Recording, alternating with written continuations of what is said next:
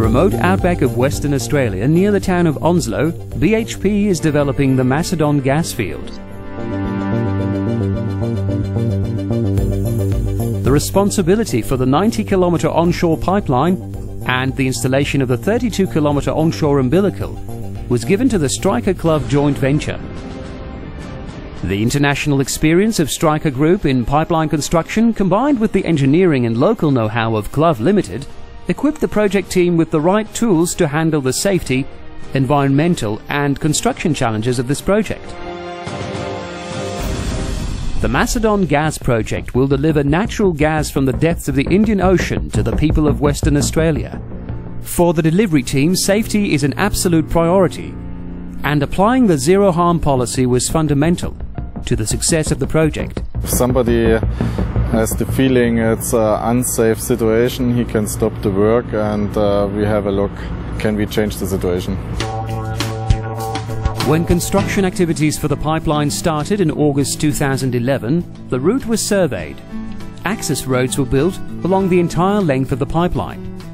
On the right-of-way, vegetation was cleared and all heritage sites were left untouched traditional landowners, the Thalanyji tribe, were invited to come out and check the area with us and they were able to identify areas that had artefacts and these were deemed to be heritage sites and we delineated them and we stayed away from these areas.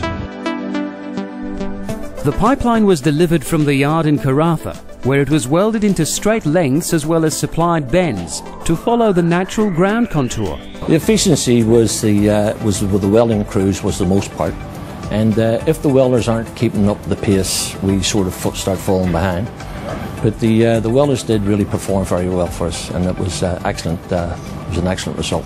Streicher Group from Germany is an international organization that specializes in the design and construction of pipelines worldwide. Streicher provided the project with specialized services in directional drilling and hydrostatic testing through its two subsidiaries of DrillTec and PSI. Directional drilling was used to drill two horizontal holes of 900 meters each to reduce the impact on the environment in conjunction with the zero harm policy on the project. Our vision is uh, that we have no harm uh, to our people and no harm uh, to environmentals. The trenches for the pipeline and for the umbilical have been built with the greatest possible care for the environment. We had acid sulfate soils through the supratidal area, so when excavating we would expose that to oxygen which would cause contamination. So we had to treat with lime and then do daily field and laboratory testing before backfilling to ensure that it wouldn't harm the environment. Zero harm is taken seriously which means that the native fauna is protected on a daily basis. We do twice daily inspections of the open trench. Um, that's to capture anything that's in there and then release them into the bush. Uh, we've mainly been getting reptiles, uh, but also marsupials, and um, we've been getting up to sort of five to 6,000 in a week in 15 case of open trench.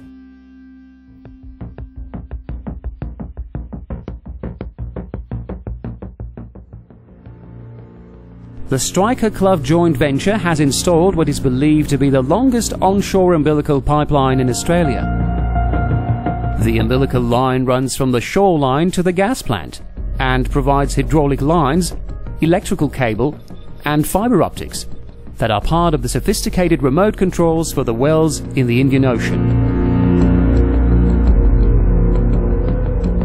Pulling the umbilical casing across the Ashburton River is one of the unique aspects of this project. Practically this is the first time an umbilical has been pulled through uh, river casing. What we are doing here is a dynamic umbilical pull. Uh, we're pulling it through a river and we're also pulling it through a supratidal area, also referred to as a salt flat. With over 90 years of local experience, Clough provided the engineering design required for the installation of the umbilical lines. We've had to incorporate towing the vessel and that took four side booms to the front. Behind that was three excavators lowering in the um, umbilical cable into the trench. So we've had to mould all this together and uh, make sure that everybody was safe, communications was good, radio comms, hand signals, that type of thing. The Macedon Gas project by the Streicher Clough joint venture is a historic combination of know-how and skills in a unique environment. There are a number of challenging aspects of this project. Uh, the environmental conditions, the safety of the crew, engineering and design in terms of doing world's first, like the umbilical pool. Uh, but at Streicher Clough, two organisations with over 190 years' experience thrive on challenges.